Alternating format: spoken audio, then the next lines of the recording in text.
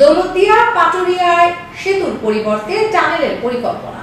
দৌলতদিয়া পাটুরিয়া এলাকার দ্বিতীয় পদ্মা সেতু নির্মাণের দাবি বিষয়টি সরকার বিবেচনায় নিয়েছে বলে জানিয়েছেন সড়ক পরিবহন ও সেতু মন্ত্রী ওবায়দুল কাদের।